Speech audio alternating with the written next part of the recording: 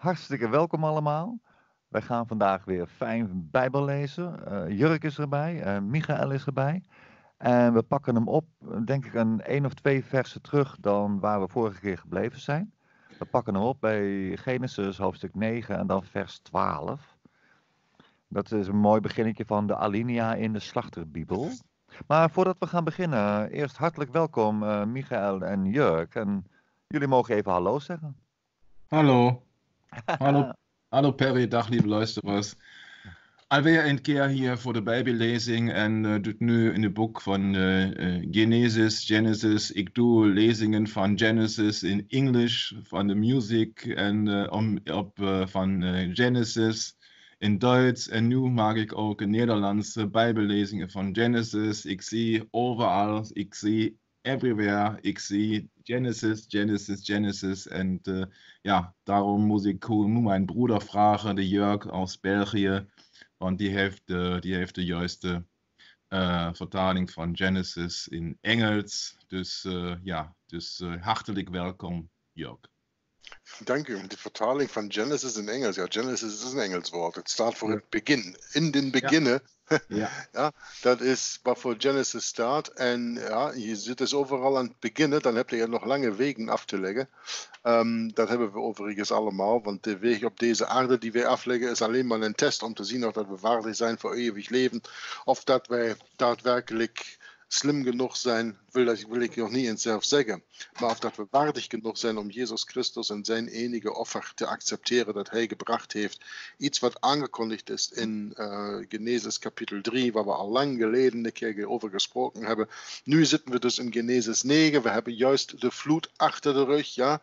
Die mensen komen uit de ark, de dieren komen uit de ark en God gaat met die mensen een bond, een verbond sluiten. Ja? En ik ga dat eventjes in Engels gaan voorlezen. En dat zijn twee versen, versen 12 en 13, waar geschreven staat in de Engelse wondervolle uh, Koning James Bijbel van 1611. And God said, This is the token of the covenant which I make between me and you and every living creature that is with you for perpetual generations. I do set my bow in the cloud and it shall be for a token of a covenant between me and the earth. Yes. En in het Nederlands. En God zeide, dit is het teken des verbonds dat ik geef tussen mij en tussen u lieden, en tussen alle levende ziel die met u is, tot eeuwige geslachten. Mijn boog heb ik gegeven in de wolken, die zal zijn tot een teken des verbonds tussen mij en tussen de aarde. Dan op zijn Duits. Klingt het? Ja. Und Gott sprach, dies ist das Zeichen des Bundes, den ich festsetze auf ewige Geschlechter hin zwischen mir und euch und allen lebendigen Wesen, die bei euch sind. Meinen Bogen setze ich in die Wolken, der soll ein Zeichen des Bundes sein zwischen mir und der Erde. Ik vind dat heel interessante versen. Ga eens een keer naar de, uh, nee, nee, naar de Nederlandse, ja. naar de, uh, naar de uh, Statenvertaling. Dank je. Mm -hmm. Want dit is ja een, een, een, studie die we voornamelijk in Nederlands willen gaan doen. Dus ik lees het in Engels, dan in Nederlands, dan in Duits en bespreken doen we het over het algemene Nederlands, hoop ik. Um, uh, als we daar iets over willen bespreken, we hebben we verleden keer al gedaan, maar er zijn altijd zo dingen die vallen nu de tweede keer meer op als de eerste keer. Zo is dat bij mij tenminste. Het staat hier geschreven, dit is het teken des verbonds dat ik geef tussen mij en tussen u lieden tussen, en tussen alle levende ziel. Dus God maakt deze verbond met alle levende zielen. Dat wil zeggen ook de dieren. Ja? ja. Vind ik heel belangrijk dat God hier de dieren uh, mee insluit. Dat is iets waar wij ons ook een beetje meer van zouden bewust moeten zijn. Dat de dieren van God even geliefd en beschermd zijn als levende zielen, gelijk de mensen. Ja? Zo komt het tenminste zo over als ik dat hier lees. Ja? God wil niet dat een mens kwaad geschiet, maar hij wil ook niet dat een dier kwaad geschiet. Ja. En dat zal geen verband sluiten met alle levende zielen waar de uh, dieren inbegrepen zijn. De planten overigens niet, want planten hebben geen levende ziel. Planten mm leven niet. Daar zijn verschillende bewijzen voor in de Bijbel. Ik heb nu geen zin om die allemaal op te ratelen, maar iedereen mag dat eens een keer rustig zelf gaan studeren. Of desnoods een keer in een, uh, in een commentaar van deze video een keer bijschrijven van oh, dat versta ik niet. Kun je dan een keer uitleggen alstublieft? Dan zal ik dat zeker graag doen, samen met Perry en Michael, die hetzelfde begrip daarvan hebben, bijbels, als ik dat heb. Maar dus een verbond die hier gesloten wordt met alle levende zielen. En dan zegt hij in uh, vers 13, mijn boog. Dus de regenboog is van wie? Is die mhm. van ons om daarmee te doen wat we denken wat we daarmee willen doen, of is die van de Heer? Ja. Volgens mij is die van de Heer. Ik heb hem gegeven in de wolken, daar waar wij sowieso niet heen kunnen. Nou, daar kunnen we een keer in vliegen, maar we kunnen daar niet zijn, daarboven. Deze boog zal zijn tot een teken des verbonds tussen mij en tussen de aarde. En dat is het mooie wat dan komt in vers 14, waar het geschreven staat: En het zal geschieden als ik wolken over de aarde brengen, dat deze boog zal gezien worden in de wolken. Dus wie brengt de wolken op de aarde? De mens of de Heer? Mm Het staat duidelijk geschreven. Wie het weer maakt, ja? wie wolken maakt, wie wind maakt, wie de zon laat schijnen. Dat is allemaal door de Heer. Ja? En de zon is alleen maar gelijk de wolken en de boog een middel dat God gebruikt. Niks om zich voor neer te buigen, niks om aan te bieden of aan te bidden. Ja? Mhm. Dat zijn gewoon middelen die hij gebruikt om ons dingen duidelijk te maken. Mijn boog heb ik gegeven in de wolken. Dat wil zeggen van dat is Gods boog. En als ik als mens deze boog misbruik voor mijn doeleinde, dan doe ik aan blasfemie. Ja. Dan doe ik aan godslastering. Ja, en, welke, en welke beweging kennen wij op dit ogenblik hier op deze aarde die zo godslasterig bezig is, dat het misbruiken van de boog nog maar het kleinste van hun laster is? Mm de zogenoemde Gender-agenda. Gender is ook zo'n weer heel schoon, mooi woord. Ja? Sarcasme. Ja? Zo'n heel schoon, mooi woord om een oud woord in de achtergrond te drukken. In Engels, als je zwanger bent, dan mhm. wordt je heel vaak gevraagd: What's the sex of the baby? Mm The sex, ja, dat is het geslacht. Daar wordt niet gevraagd: what gender is it? Mhm. Ja? Dus er wordt gevraagd, wat is het geslacht van de baby? Niet Mhm. gender. Als wij deze woorden gebruiken, deze, die, die ze nieuw uitvinden om hun agenda door te drukken, dan gaan we weer die oude woorden een ganz andere ehm, betekenis gaan geven. Ik bekijk het ondertussen zo. Geslachten hebben wij twee. Hij en zij. Mannelijk en vrouwelijk. Mhm. Masculien en feminien.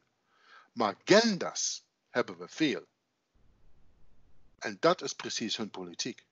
En we mogen niet het ene met het andere mixen.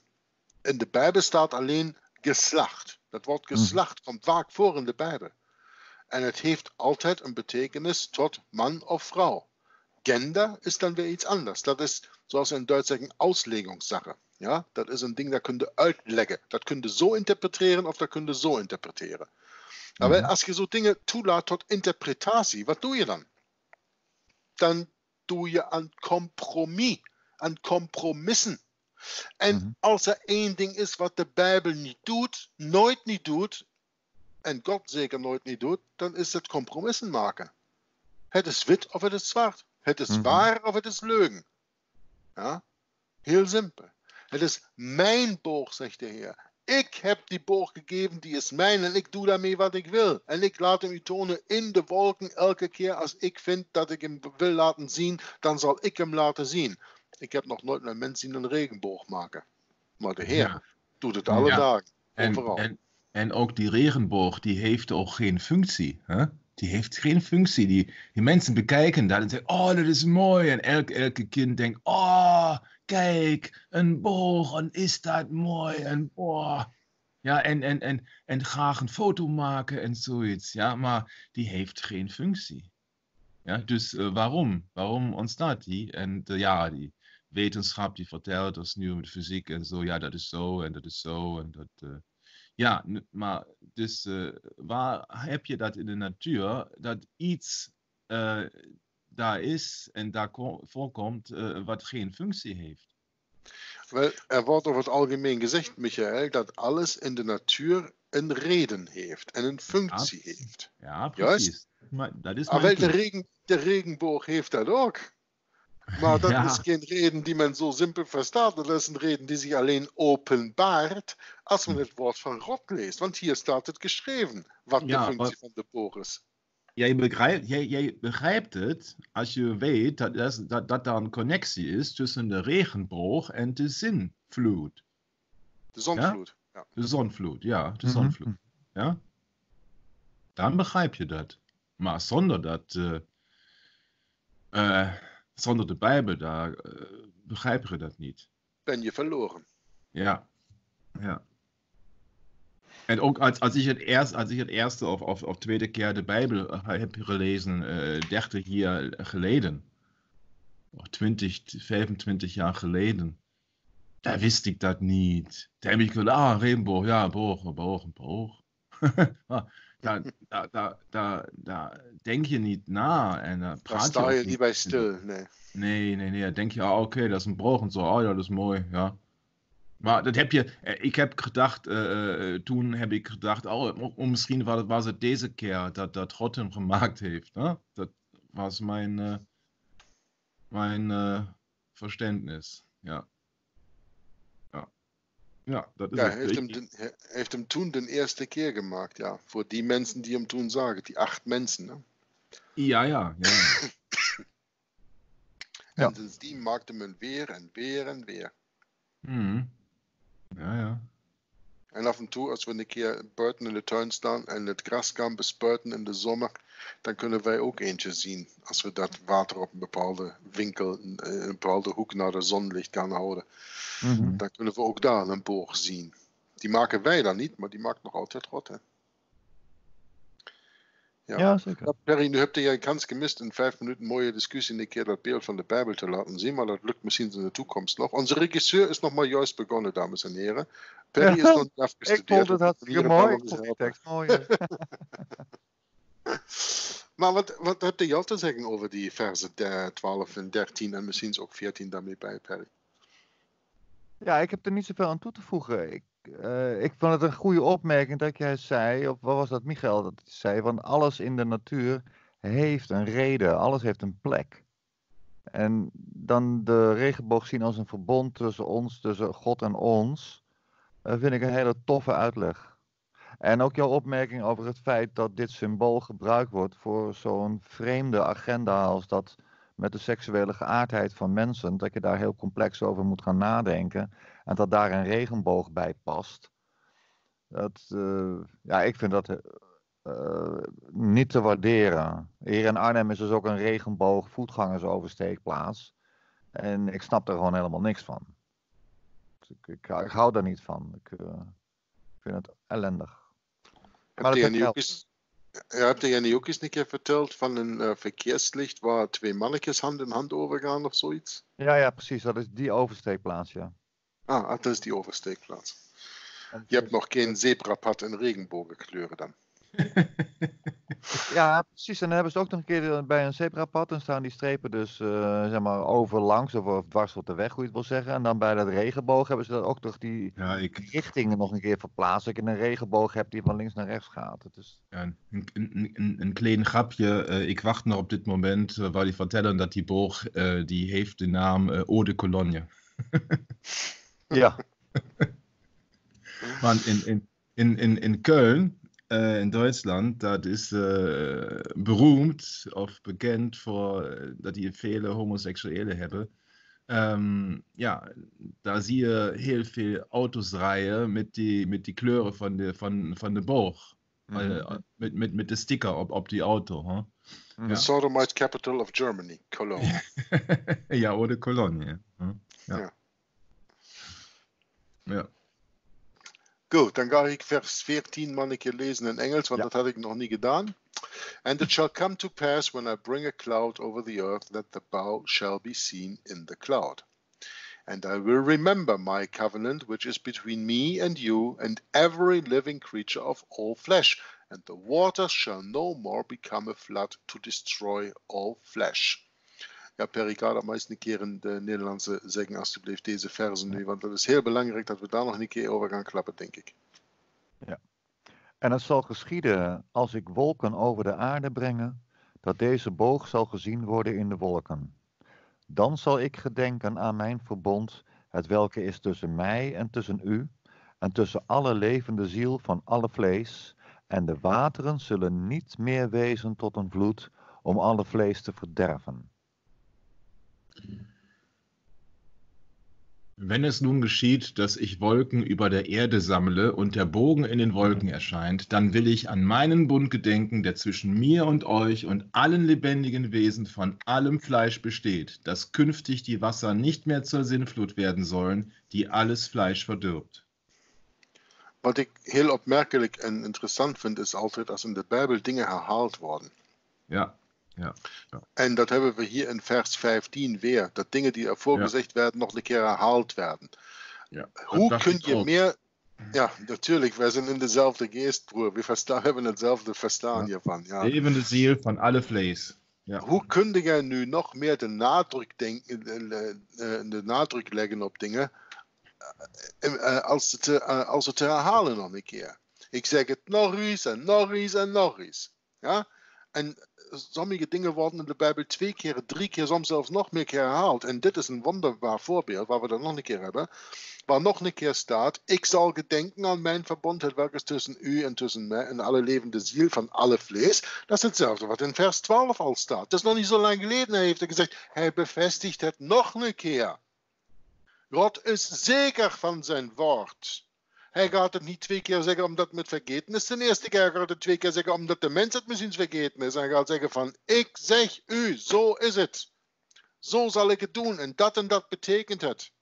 En ik zal nooit meer, dat is ook de tweede keer dat hem zegt hier, water over de hele aarde laten komen. Dat heeft hem ook al eerder gezegd in een eerdere versie. Het is heel belangrijk, als God die dingen twee keer zegt, dan moet ik een keer iets luisteren. Dat is de bedoeling dan heeft God een heel belangrijke boodschap mee te vertellen. Ja? Hij sluit een verbond tussen ons. Hij biedt ons zijn hand aan. Wij zijn gevallen creaturen. Wij zijn boos. Wij zijn slecht. Wij zijn zondenaars. Wij zijn sterfelijk. Wij zijn alles dat wat God niet is. En toch reikt hij ons de hand en zegt: Ik zal met u een verbond sluiten, met u en alle levende ziel van alle vlees. En de wateren zullen niet meer wezen tot een vloed om alle vlees te verderven. Als dat geen schoon geste is, dan weet ik het niet. Zeer schoon. ik heb er niet veel aan toe te voegen. Jij wel, Michael? Nee, die herhaling, die, ik denk, die is heel klaar voor mij. Dus uh, ik denk dat is uh, ook uh, als iedere keer je, wenn, als, als, je ziet, iedere keer als er een herhaling is in de Bijbel, dan is het heel belangrijk en je moet het begrijpen dat dat niet, niet voor niks gedaan is. Dus ja, ik, ik lees deze dingen, lees ik immer, lees ik graag ja, nog een keer en nog een keer. En ik denk, oh, dat moet heel belangrijk zijn. En ik moet eten een beetje, um, ben een beetje blij op deze verse. Of, uh, want ik, ik, ik hou zo van dieren. Ja, en uh, ik, ik denk dat is heel, heel belangrijk als je deze dingen leest en, en begrijpt. En uh, dat wij ook verantwoordelijk zijn voor, voor deze, um, ja, voor deze levenwezen. Huh? Voor deze beesten. Beesten, ja. Mhm, ja. Ja. Ja. Oké. Okay. En als we nu naar vers 16 gaan, dan gaan we nog een keer een herhaling lezen. Mm -hmm. And the bow shall be in the cloud, and I will look upon it, that I may remember the everlasting covenant between God and every living creature of all flesh that is upon the earth. Weer hebben we een herhaling. Ja? ja. That I may remember the everlasting covenant between God and every living creature of all flesh that is upon the earth. And God said unto Noah, This is the token of the covenant which I have established between me and all flesh that is upon the earth. Dus tussen vers 12 en 17 gaat het allemaal over hetzelfde. Weer en weer en weer. Maar we gaan het eerst eens een keer in Nederlands horen nu zeker, hè? Yes. Dan zal ik gedenken aan mijn verbond, het welk is tussen mij en tussen u, en tussen alle levende ziel van alle vlees. En de wateren zullen niet meer wezen tot een vloed om alle vlees te verderven. Als deze boog in de wolken zal zijn, zo zal ik hem aanzien om te gedenken aan het eeuwig verbond tussen God en tussen alle levende ziel van alle vlees dat op de aarde is. Moet er eentje uh, verder? Even kijken. 17 had je ook gedaan, hè? Nee. Nee? Uh -uh. alleen 16. Ja. 15 en, en 16. Jij? 15 en 16. En dan mag jij, Michael. 15 ook? Ja, ja. Aha. Dann will ich an meinen Bund gedenken, der zwischen mir und euch und allen lebendigen Wesen von allem Fleisch besteht, dass künftig die Wasser nicht mehr zur Sinnflut werden sollen, die alles Fleisch verdirbt. Darum soll der Bogen in den Wolken sein, dass ich ihn ansehe und an den ewigen Bund gedenke zwischen Gott und allen lebendigen Wesen von allem Fleisch, das auf der Erde ist. Schoon, hè? Ik heb daar niet veel commentaar over. Het is gewoon mooi om te lezen en mooi om te horen hoe God deze uh, verbond met de mensheid opricht, alhoewel dat wij het dus absoluut niet waard zijn. Hm? Ja. Ja, de, de, deze, deze, deze uh, bond van God, ja, daar, daar, daar zie je maar ook dat God de persoon niet aankijkt. Hè? Ja. Want die, die, zegt, die zegt hier alle lebendigen Wesen. Of uh, in, uh, in Nederlands, um, waar, waar, staat dat? Uh, Tussen mij en alle vlees dat op aarde is. Mij en alle vlees dat op aarde is, ja. Ja, daar staat niet, oh, da, deze of deze of deze. dat, het waren gewoon acht mensen daar op die aard, op dit moment. Endidieren, endidieren, endidieren. Ja, ja, ja, ja, ja, ja. Okay. Ja, dann gehen wir durch in uh, vers 18. Ne? Ich habe heb mhm. ook nog een aanmerking, maar dat is een beetje. beetje uh, ja, tu mal. Beut, deut in der Bibel. Ja, ihr weet dass uh, äh, die, die Römische Gottes Venus. Ja? Goddess Gottes. Romanze Gottes, Venus, ja. Die, äh, Aphrodite äh, in Grieks und Venus in Romans, ja. Ja, das weet, weet je van gisteren ja auch, Ja. Da haben wir darüber gehad bei äh, einer Agenda, satanische Musikagenda. Und äh, da wurde äh, verteld, äh, die Legende, die Sage, wurde verteld, dass äh, Venus ist äh, geschapen op, von, von de Water. Geschapen von de Water. En haar symbool Mhm. is ook een ster, ja, maar met acht punten. Mhm. Ne? En de schelp, hè? Mhm, ja. ja, ik weet niet wie dat noemt in het Nederlands. Dus Schelp. dat niet vertellen. Shell, ja, shell. Een Mhm, schelp. Ja, een mossel, Ja. een mossel is wat anders. Hè? Dat zijn, Ja. miesmussel is mossel, Ja, oké. maar die Ja. Venus komt uit de schelp. Daar Ja. heb ik al over gelezen in Van Babylon naar Rome van Hislop jaren geleden. Dus ja, ja. dat was mij, was mij al langer bekend. Ja, en Shell heb je dan natuurlijk ook Mhm. dat teken van die eh, brandstofmaatschappij. Ja, Royal ja. Dutch. Royal Shell, Dutch, yes. Ja, ja, ja, ja. ja. Om Perry daar ook eens een keer een beetje in te betrekken. Hè? Ja. Ja, ja, ja, ja, ja. We zijn zo trots op onze koningshuis. ja. Dat was een Dat grapje. is hè? onze koningin, hè? Dus Die heeft daar aandelen in. in de... Dat is haar ding samen met de familie Rothschild of zo. Dat zou wel zijn. Ja, ja, ja. Zo, dan ga ik een keer verder lezen in vers 18, dat we nog eens een keer een beetje wat Bijbel gedaan krijgen vandaag. And the sons of Noah that went forth of the ark were Shem, and Ham, and Japheth. and Ham is the father of Canaan. These are the three sons of Noah, and of them was the whole earth overspread. Nu, ik heb mij niet voorbereid op deze Bijbelstudie, maar ik kan u zeggen dat vers 18 zo wat van vreselijk belang, van, zo wat van een vreselijke belang heeft als we de volgende kapitels gaan lezen, dat we daar dan nog een keer terug opkomen. Ja. ja? En dat gaat nog zeer interessant worden. Ja, dat denk ik ook. Oké, vers 18 op zijn Nederlands. En de zonen van. Kijk hoor. Ja, 18, heb je ook en 19. Ja, 18 en 19. En de zonen van Noach die uit de ark gingen, waren Sem en Gam en Javeth. En, de, en Gam is de vader van Canaan. Deze drie waren de zonen van Noach, en van deze is de ganse aarde overspreid. Die Söhne Noahs aber, welche die Arche verließen, waren Sem, Ham und Japhet. Und Ham ist der Vater Kanaans.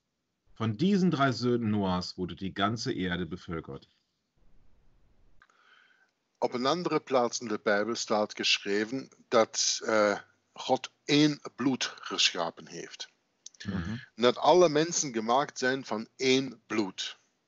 Dus aan de zogenoemde racisten, hier maar een keer ganz duidelijk de boodschap.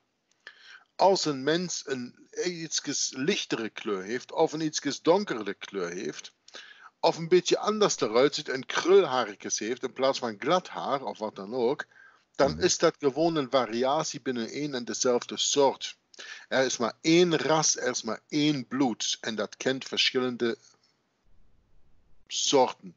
Of hoe moet ik dat zeggen? Ja? Dat is heel belangrijk dat we dat hier verstaan. En hier staat het nog een keer duidelijk in voor iedereen, ganz duidelijk. Deze drie waren de zonen van Noach en van deze is de ganze aarde overspreid. Dus we komen allemaal van deze drie mensen. Nu zijn we ofwel afkomstig van de familie van Sem, of van de familie van Kam, of van de familie van Japhet. Maar Sem, Kam en Japhet zijn allemaal familie van dezelfde man en vrouw, namelijk Noah en zijn vrouw, die trouwens onbekend blijft van naam, die kennen we hier niet. Mhm. Dat wil zeggen dat ze niet belangrijk is. Sorry, vrouwen, leer een beetje nederheid. Ja, mhm. ja dat is. Uh, vrouwen zijn in de Bijbel niet echt belangrijk, want vrouwen zijn de dienaars van de, de heupen van de mannen, zo moet ik het correct zeggen. Ja? Mhm. De vrouw werd geschapen als heup voor de man. Ze heeft een niet zo belangrijke rol, gelijk dat de antichrist en Satan vooral de vrouw wil toedenken. Die draait alles om en die zet de vrouw zelfs boven de man. Iets wat de Bijbel precies zegt dat de Bijbel niet wil, dat God niet wil. Mhm. Ja? Heel belangrijk. Maar dus, even een keer van de vrouw van Noah weg. We hebben alleen maar deze familie. We hebben Noah en zijn vrouw. En we hebben drie zonen die zij veronderstel ik, gezamenlijk hebben. Want mhm. anders is het niet mij bekendgemaakt in deze Bijbel. En van deze drie zonen en hun drie vrouwen stamt iedereen op deze aarde af. Mhm. Zowel de zwarte in Ethiopië, als de rode in Zuid-Afrika, Zuid-Amerika, als de witte in Europa, als de gele in Azië, om maar een keer iets te zeggen.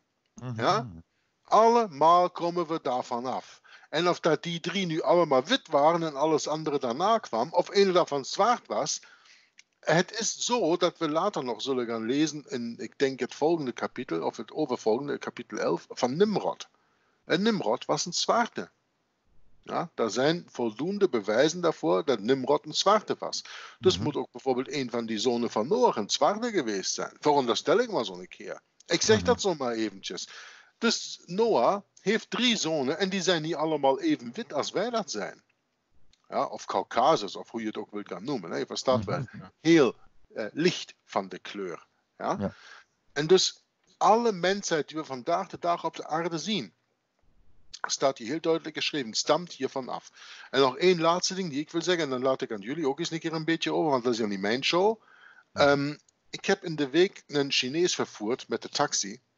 En ik heb met hem eventjes een keer erover gesproken. Als hem dan, uh, hij heeft me daar iets laten zien op zijn telefoon omwille van die adres waar ik naartoe moest. Ik zei van ja, maar uh, die tekst, daar kan ik niet lezen. Dan zei hij van ah ja, sorry, ik verander dat even. Dan heeft hij dat in, uh, in onze gewone Latijnse schrift veranderd. En dan mhm. kon ik het wel lezen. Um, ik zeg van, van die Chinese schrifttekens ken ik er maar één. Hij zegt ja. Ik zeg ja, ik ken alleen maar dat voor boot. Ik zeg van dat is een wessel, een, een, een behoudenis met acht mensen. Ah ja, zegt hij. Ik zeg, weet je waar dat vandaan komt? Nee, zeg ik. Dat is uit de Bijbel, hè.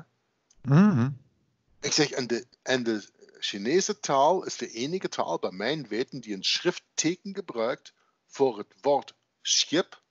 Dat bestaat dus uit een behoudenis en acht mensen. Ja. Noah, zijn vrouw, Sem, Gam, Jafet en hun vrouwen. Acht. Ja? Daar heb ik die mensen eens een keer een beetje zijn ogen geopend. Ja? Vond ik eens een keer interessant. Ja, leuk. Ja. Tof. Hm. Ja, ik vind het een goede opmerking van jou over die rassen. Ik, de, dat het ook die discussie maar eens een keer moet ophouden. Je hebt verschillende soorten mensen. En er zijn verschillende culturen op deze wereld. En die culturen, die culturen ja, die zijn, ja, die leiden tot verschillen in gedrag en verschillen in gewoontes. En die kunnen conflicterend zijn. En, en daar kan je het dan over hebben. Maar wat ik dus, nog even iemand te noemen die misschien eh, de kijkeraars ook wel kennen. Die man uit Amerika, Eric John Phelps. Die die pleit er dan voor dat de rassen gescheiden worden. Want hij zegt dat God de rassen heeft gemaakt met opzet. En wij dienen dat te respecteren. En niet uh, de, de, rassen te gaan mengen. Dat dat blasfemisch is. En dat vind ik niet goed wat Eric John Phelps daarvoor staat. Ik vind het punt 1 onhaalbaar. En punt 2 uh, eh, strijdig met wat hier staat in, uh, in Genesis 9. Ja, ik heb het ook gehoord, Perry. En ik denk, hij is een beetje uh, provocatief uh, in, in, in, in een of andere manier. Ik, uh, ik heb verschillende radio-uitzendingen geluisterd, waar die Eric John Phelps was toen daarbij. En ja, ik vond hem heel vreemd. Want ja, hij is een, ja, wie, wie zal ik dat zeggen? Hij is een beetje... Um, auf, auf, auf, auf Deutsch so, so streitsüchtig. Ja. Mhm. ja. Heißt, heißt in, was, in Engels nennen einen White Supremacist. Ja, ja das auch. Mal, äh, ja,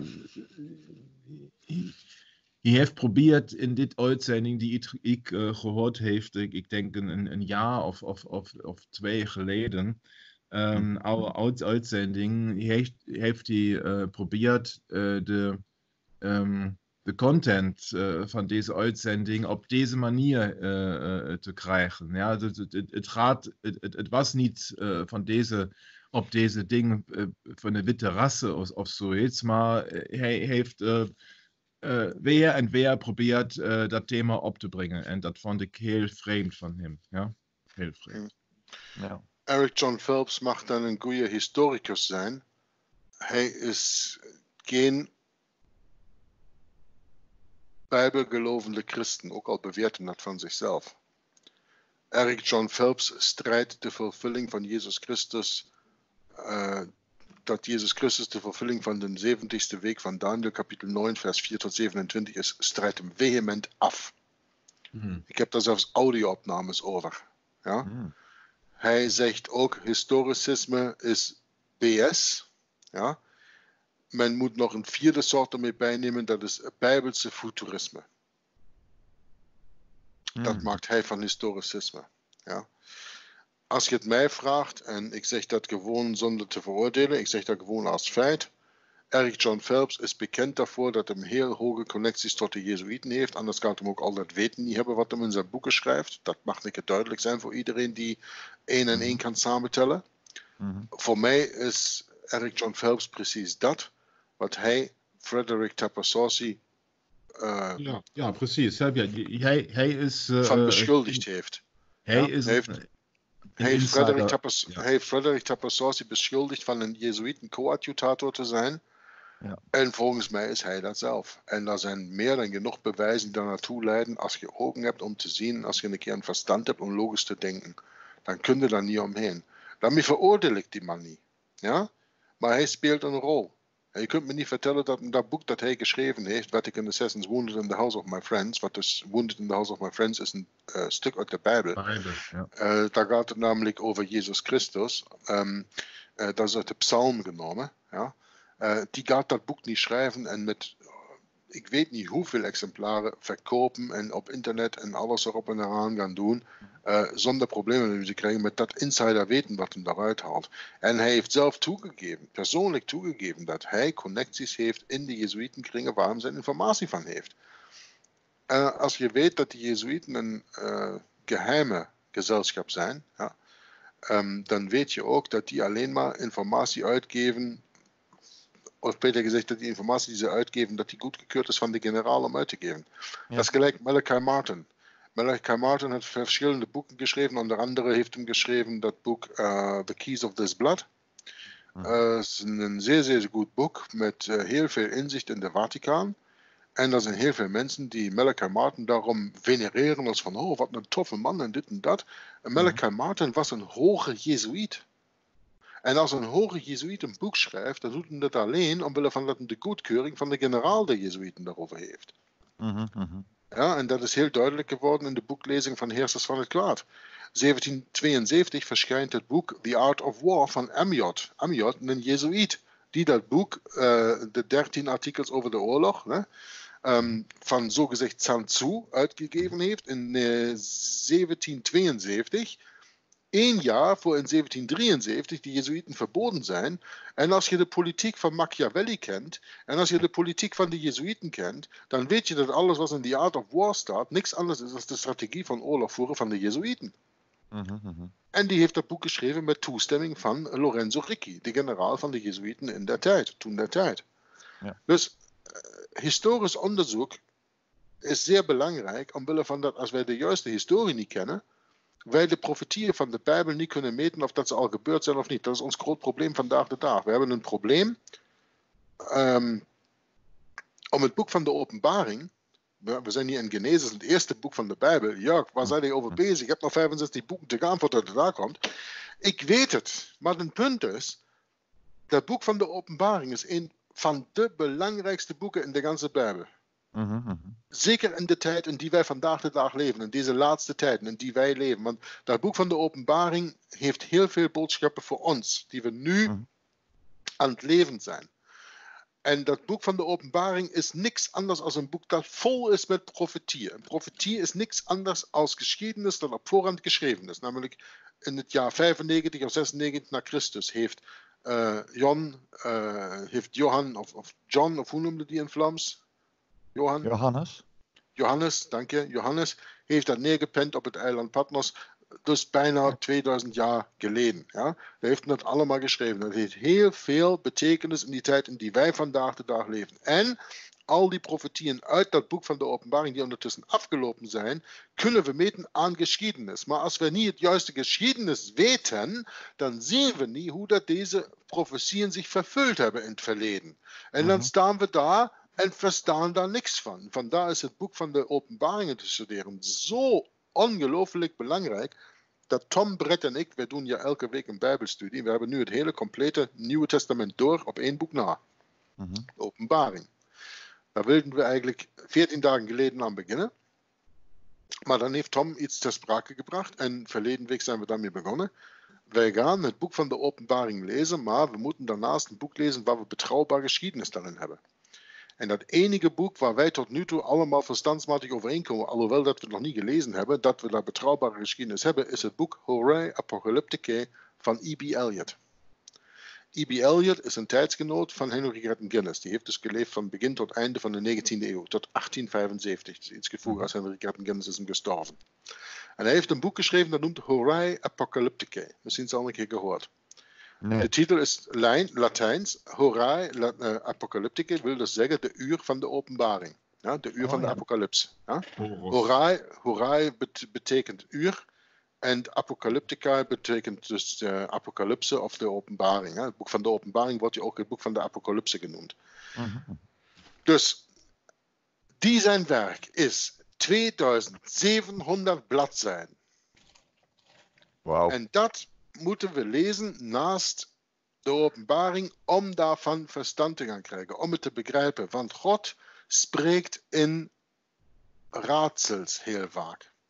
God mhm. gebruikt symbolen om dingen duidelijk te maken in sein Tal. maar darum verstaan wir die symbolen noch nie altijd. Das große Verschil mit den vrijmetselaars in unserer Welt, in die wir leben. Die vrijmetselaars in unserer Welt gebruiken symbolen om hun Tal zu verbergen. God gebruikt symbolen om zijn taal te verduidelijken. Mhm. Maar daarom verstaan we toch nog niet altijd. Ik geef maar een keer een voorbeeld. Een, uh, in de Bijbel staat uitgelegd dat een vrouw voor een kerk staat. Ja. Hmm. In de Bijbel staat uitgelegd dat een beest staat voor een natie. Ja? Mhm. Voor een koninkrijk. Ja?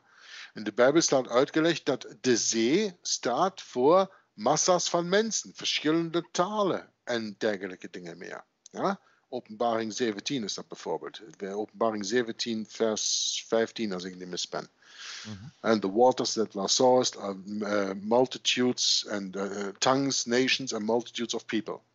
Zo ungefähr staat het erin in de Koning James. Mm-hmm. Maar niet elke keer staat dat zo woordelijk daar verklaard. Of het staat in een heel ander kapitel en moet dan een keer hier toegepast worden. Dus dat maakt de Bijbel soms tot een moeilijk woord om, een moeilijk boek om te studeren. Maar God heeft geen geheimen voor ons. Hij legt ons, maar het is aan ons om ze uit te zoeken. En dat probleem waar ik nu in feite op neer wil, is dat zo'n mensen als Eric John Phelps zoveel historie gaan vertellen die misschien wel waar is, maar dat dan weer met een foute Bijbelprofetie verbinden. En op die hmm. manier mensen misleiden. En dat is het gevaarlijke aan zo'n mensen gelijk Eric John Phelps. En daarom staat in de Bijbel geschreven: volg geen mens. Laat u niet van mensen misleiden. Ja? See that no man deceive you. God bedriegt u niet, maar de mensen bedriegen u wel. En wij houden veel te veel rekening met de leer van de mens om ons te laten leiden om God te verstaan. Dat kunnen we alleen maar door onszelf.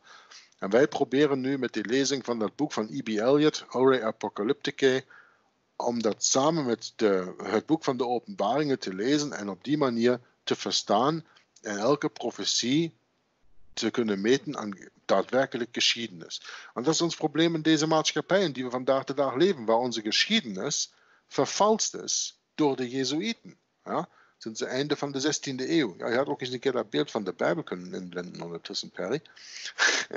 um, nee, ik vind nog steeds je teksten veel mooier. ja, oké, oké. Ehm, wat had ik nu gezegd? dat de Jesuiten de geschiedenis vervalsen sinds het eind van de 16e eeuw. Ja, ze zijn in 1540 zijn ze in werking gekomen en hun, uh, hun, hun, hun werk over het vervalsen van uh, de uit, uh, hoe zeg ik, de education, dus de, die opleiding van mensen, uh, Ratio Studiorum, hun schrijven daarover, is in 1599 verschenen, maar wees er maar zeker van, die hebben er al veel vroeger dat toegepast en geweten, dat boek kwam dan misschien eens uit. En dat is ook het iets, als je die geschiedenis van de Jezuïten een beetje studeert, dan ga je leren over elke plaats waar ze naartoe komen, daar gaan ze altijd direct naar de top. Dat is Hünn Politik beginnt von boven nach beneden. Neut von grassroots, so aus Jesus Christus mit seinen zwölf äh, äh Folgers was. Ja? Mhm. Eine Grassroots-Bewegung. Nee, nee, altijd van de top. Ze gaan eerst naar de koningen, ze etableren zich daar en ze doen dat heel makkelijk, omwille van dat ze ja, via het geloof direct aan de hoogste plaatsen komen. Hè. Ze komen direct via de bisschoppen en via de kardinalen en zo in de allerhoogste plaatsen. En ze nemen vandaar die universiteiten over. In deze, in, in, in, uh, uh, doordat ze direct um, de plaats van de rector bezetten. Ja? De directeur ja. van, van deze en deze universiteit is nu ineens een jezuïet. Ja dat begint niet van, ze beginnen eens een keer met een zetten, een zetten, en die werken zich de carrière omhoog en nemen dan ooit een keer over. Nee, nee, nee. Bij de Jezuïten is het juist omgekeerd. Ja? En daarom gaat bij hun alles zo snel. En zij zorgen ervoor dat we geen juist geschiedenis meer kennen. En als we geen juist geschiedenis meer kennen, dan kunnen we de profetieën van de Bijbel niet aan dat geschiedenis meten wat wij geleerd krijgen. En dan staan we dus daar en zeggen van, oh, de Bijbel is niet juist. De Bijbel heeft geen gelijk. God heeft geen gelijk. Het zal dus allemaal niet waar zijn. We moeten dus naar iets anders gaan kijken.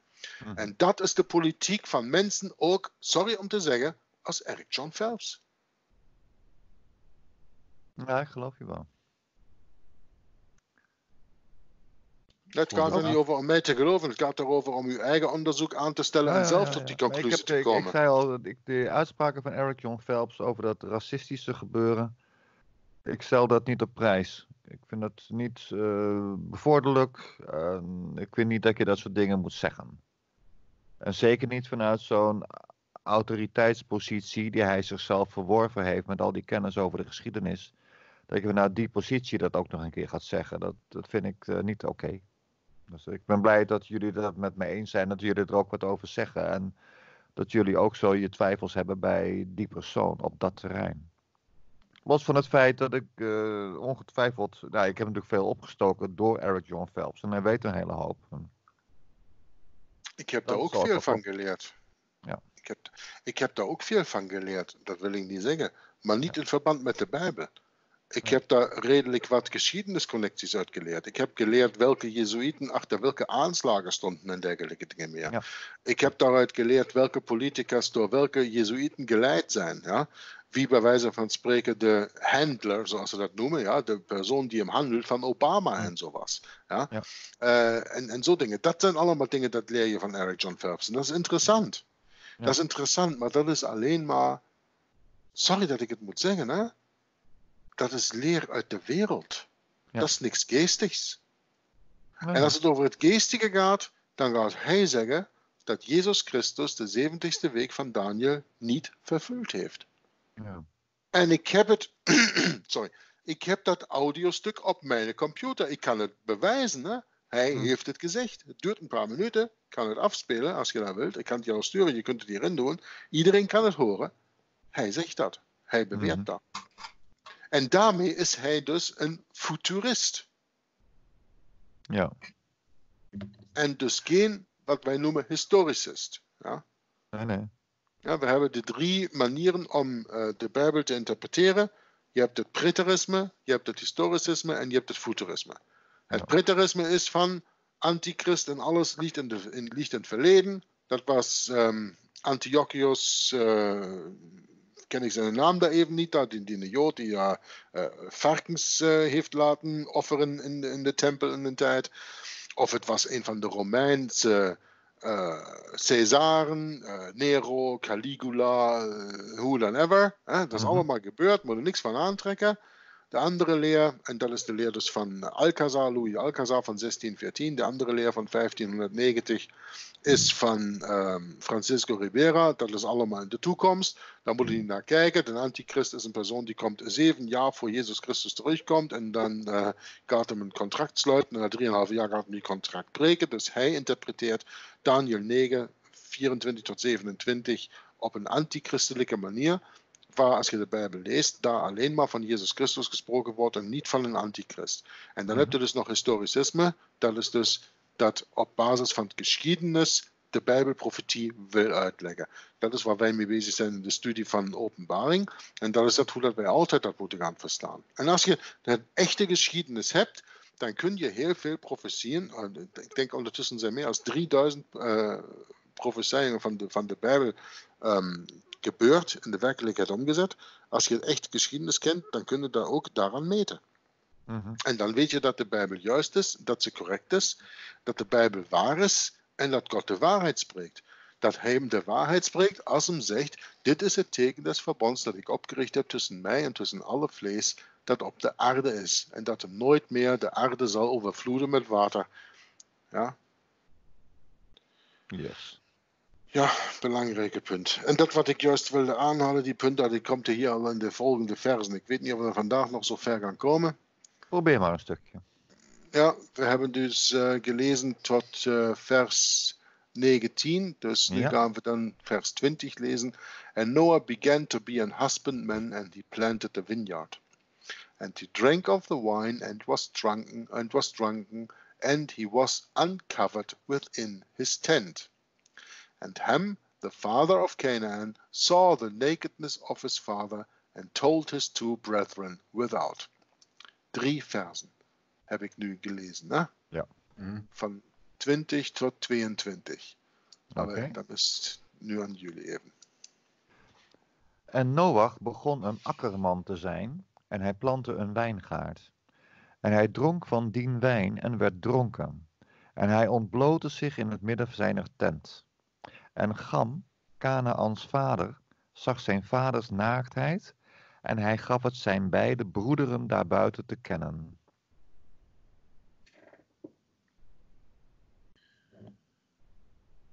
Noah aber wurde ein Landmann und legte einen Weinberg an. Als er aber von dem Wein trank, wurde er betrunken und entblößte sich in seinem Zelt. Und Ham, der Vater Kanaans, sah die Blöße seines Vaters und erzählte es seinen beiden Brüdern draußen. Nu, waarom is dat, waarom is dat zo'n interessant stukje in de Bijbel waar we nu gaan lezen? Ten eerste vind ik de vertaling van het Engelse woord, eh, woord husbandman, ja, Ja. in vers 20, te vertalen naar een akkerman, of Mhm. zoals we vandaag dag in plat Nederland zouden zeggen, een boer, Mhm. ja, oder ein Bauer in Deutsch, ein, ein Fa äh, Farmer in Mhm. Engels. Das Wort Husbandman. Alhoewel dat wij dat woord husband normaal gezien kennen van husband and wife. Mhm. Ja. Ja? Es ist interessant, om hier een keer zo'n oud Engels woord een keer te zien en dan te zien hoe dat, dat vertaald wordt en wat dat in feite oorspronkelijk gaat bedoelen. Husband and wife. Ja. Ja. Als ze dus gaan trouwen, I now declare you husband and wife, als ze zeggen, ja, maar mannetjes, als we dan teruggaan naar het begin van, eh, van eh, het boek van Genesis, eh, Ja, daar, hebben we toch, daar hebben we toch bijvoorbeeld Genesis kapitel 3, na de val van de mens, waar de mens verplicht wordt in het zweet van zijn aangezicht de aarde te bewerken. Aha. Ja? Dat verklaart toch opeens waarom dat, dat hier een husbandman is. Ja, en En Noah- als, Ja, u in het Engels, Engelse, Wikipedia, eh, Engelse dictionary eh, kijkt, dan is husband eh, van eh, master of a house, householder. Dus dat is de huis, dat is de, de heer van de huis. Hm? Dat denk ik zo. Ja, ik ga eens een keer kijken in eh, Webster's Dictionary, dat is daar leidingeving voor. Ehm, Webster's Dictionary van 1828, eh, 1828, husbandman, zegt: This is a noun, a farmer, a cultivator or tiller of the ground. Tiller of the ground, dat zijn precies ex- exact de woorden die we in Genesis, ik denk kapitel 3 lezen, hè, na de val. Ne? To till hmm. the ground. Ja? One who labors the, in tillage. In America, women generally own the land on which they labor. Niet meer vandaag dus. The proprietor of a farm is also a laborer or husbandman, but the word includes the lessee and the owner. And he is the master of a family. But uh, in die betekenis is het woord niet in gebruik in de Verenigde Staten van Amerika. Ja? Um, je hebt daar das uh, dictionary. Um, dat is misschien een keer interessant. Ik zal u een keer die link gaan sturen hier, um, dat je dat misschien ook uh, mee kunt verlinken in die video, dat mensen eens een keer kunnen gaan nalezen. Mhm. Uh, Webster's Dictionary is absoluut een fantastische bron als je vragen hebt over woorden die in de Bijbel staan. Hè? En dan zijn er zoveel mensen van, eh, Jörg, wat leest jij de Koning James van uh, 1611? Dat is zo oud Engels, dat verstaat toch geen mens? Ja, dan neem daar een woordenboek bij, dat verstaat het, der vriend. Dan wordt dat uitgelegd. Hè? Ja. Wat je een keer moet gaan doen, voor plezier, ik zeg dat maar een keer zo, tot volgende keer kunnen we een keer zeggen welke resultaten je gekregen hebt. Uh, tik dan maar een keer dat woord dinosaur in. Hmm. Want? Ja, Perry, weet je niet wat dan gebeurt? Nee, niet zo 1, 2, 3 dat ik dat uh, uit mijn hoofd weet. Nee. Ik weet doe het het. eens een keer, doe het eens, doe het eens een keer. Hier, op het scherm. Je hebt die link. Klik dan een keer op. Doe dat eens een keer. Live op de televisie nu. Kijken. Klik daar maar een keer op. Webster's Dictionary. Zo, dan gaat dat open en dan ga je in de zoekmachine boven dinosaur intikken. Nee, nee, dinosaur, dat beest. Dan schrijft hij met I. Oh. Uh, dinosaurus, hè? Dinosaur. Dinosaur. Dino. En dan saur. Saur, hè? Dat is het Engelse woord voor dinosaurus, hè? en wat wil dat zeggen? Nee, en wat wil... ah, waarom staat dat dan woord dinosaurus niet in een woordenboek van 1828? Hmm. Omdat oh. dat woord pas 1841 uitgevonden werd. Oh. Tip maar dat woord dragon.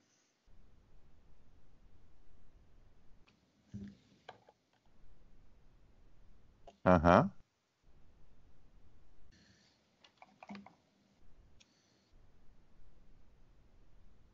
Ja, precies. Maar dat ken ik natuurlijk. Dat is een draak. A kind of winged serpent, much hm. celebrated in the romances of the Middle Ages. Mhm, de Nibelungen. Onder andere. En onder punt 4 staat, in scripture, dragon seems sometimes to signify a large marine fish or serpent. Isaiah 27:1, where the Leviathan is also mentioned, also Psalms. En het gaat ook over uh, Behemoth. Het boek in uh, Job komt hem voor. Ja? Uh, Behemoth is, is hoe dat een dinosaurus in de Bijbel beschreven wordt. Maar dat woord dinosaurus bestond toen niet. Dat is pas een uitvinding van 1841. Mm. En dat is maar 17 jaar voor Darwin met zijn boek over The Origin of Species afkwam. Ja. Zou dat nu toeval zijn dat dat woord nog maar juist daarvoor uitgevonden werd? Grappig. Nou, dat is een leuke, goede toevoeging. Ja, ik dacht dat is misschien een leuke afsluiting voordat we volgende keer een, keer een paar andere dingen daarmee ingaan. Ja. Want uh, we moeten hier met, uh, met Noah gaan we nog een paar zeer interessante dingen gaan zien. En ook een paar dingen gaan zien waar we ook nog een beetje uh, een, een, studie van moeten gaan maken. Ja. Wacht eens, wat is waarom is mijn King James hier weg in één keer? Um, want wat, wat nu komt in de volgende versen, mm -hmm. ik zal het hier eventjes een keer overlopen. Uh, and Ham, the father of Canaan, saw the nakedness of his father and told his two brethren without. Brethren without. We hebben vandaag dag niet de tijd om deze vers te ontleden, gelijk dat de moet. Mm -hmm. Maar Michael heeft dat met mij al in Duits een keer gedaan, als wij met mhm. Victor Bijbelstudie gedaan hebben. Mm. En we hebben die betekenis van deze zin compleet bijbels opengelegd. En daarvoor moeten we ook nog in een ander boek van de Bijbel gaan. Mm. En moeten die teksten met elkaar vergelijken. En dan gaan we pas verstaan wat dat wil zeggen. Dat Ham the father of Canaan saw the nakedness of his father and told his two brethren without. En dus zal ik maar zeggen, voor wat mij aangaat, mm -hmm. um, hou ik deze Bijbelstudie hier voor, voor voldaan voor vandaag ja. met deze vers. En we gaan daar zeker volgende keer op in. En gaan u een keer vers 22. And Ham, the father of Canaan, saw the nakedness of his father and told his two brethren without. Wat dat betekent, daar gaan we volgende keer in. En ik hoop dat jullie zich een beetje geamuseerd hebben. En vooral dat je wat geleerd hebt hier bij deze studie. En dat je ook voor jezelf de Bijbel verder gaat lezen en verder gaat studeren. En dan laat ik het met heel veel plezier over aan mijn twee broers die met mij deze Bijbelstudie gedaan hebben. Ja, bedankt. Nou, het woord is in jou. Dankjewel Jurk. Het woord is in jou, Michael. Ja, bedankt. Bedankt voor het lezen, Jurk. En bedankt uh, voor die uitzending, Perry. En ik hoop ook dat die luisteraars uh, daar tevreden zijn van vandaag. Ik vond het een hele mooie lezing. En ik denk dat uh, wij een hele goede team nou intussen zijn. Ja. ja, dat vind ik ook. Ik hm? ben ook reus in mijn nopjes. En een mooi spannend, een mooie cliffhanger uh, gaan we afscheid nemen. Dat uh, Noach uh, geheel beschonken in zijn tent ligt. En hoe die drie zonen van hem daarmee omgaan en hoe dat verschillend is. En ik denk dat we daar dan volgende keer meer over gaan horen. En tot de volgende keer. Dan hoop ik dat jullie er ook weer bij zijn. En dan zeg ik op zijn hamburgers, tjus. En dag lieve bijbellezers.